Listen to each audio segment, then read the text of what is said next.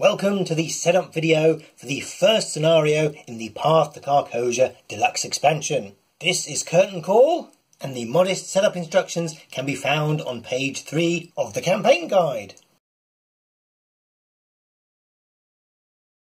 You will need 7 encounter sets, 5 of which are found in the Carcosa Deluxe box, and 2 of which come from the original core set.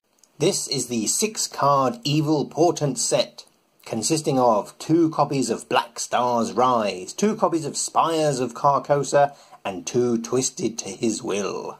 This is the six card Delusion set, consisting of two copies of Descent into Madness and four copies of Whispers in Your Head, all of which are different.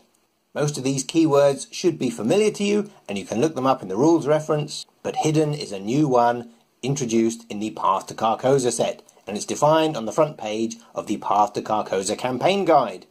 This is the four card haunting set, consisting of two copies of Spirit's Torment and two copies of the enemy Poltergeist. This is the Cult of the Yellow Sign encounter set.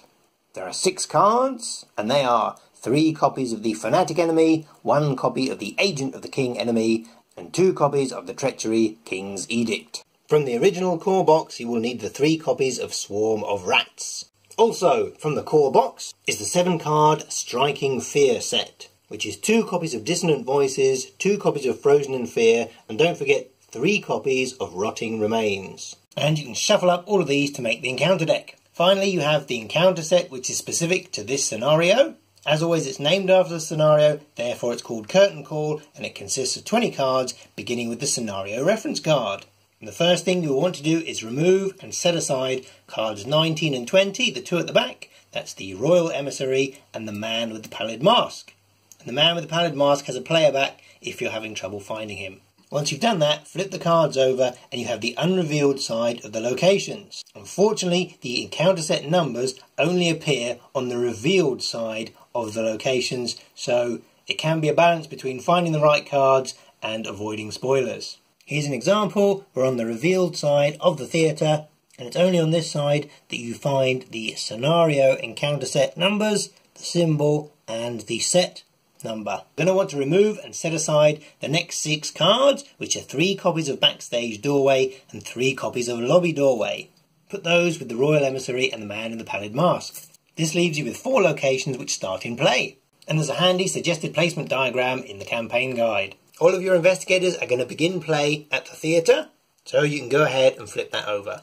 If one player has chosen to play the unpredictable Lola Hayes, she begins play backstage, her being an actress and everything. So you can go ahead and flip that one over, but obviously we're not going to. Spoilers stuff. This is how your locations line up on the first turn, with the backstage and the lobby having connections to locations which aren't yet in play, so please be patient. The final thing to note about this encounter set is you have three identical copies of Act 2A, all labelled The Stranger. Previous scenarios have given you multiple copies of the same location, and you choose one and put it into play and remove the rest from play.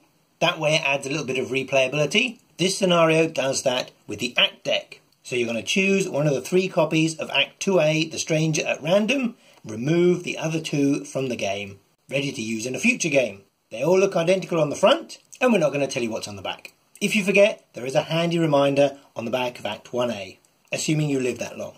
And unusually, all three cards are labelled 5 to 7 out of 20. This is good because it means people on the internet don't freak out thinking they're missing cards if they all have the same number.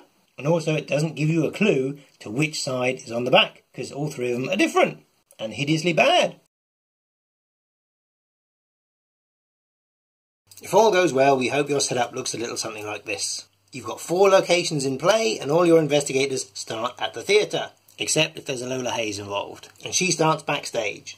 You've set aside three copies of the backstage doorway, three copies of the lobby doorway, the man in the pallid mask, and the royal emissary. You've chosen the difficulty level on your scenario card and built your chaos bag accordingly. You've built your encounter deck. There are two agenda cards and there are three act cards. The middle one, Act 2A, has been chosen at random and you've removed the other two copies from play.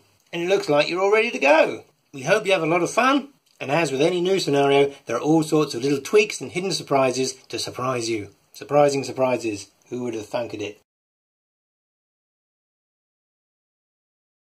We'd like to take a moment to dedicate this video to Richard Forster, one of our amazing Kickstarter backers who contributed to keep us going and making videos. Oh, Thank you ever so much.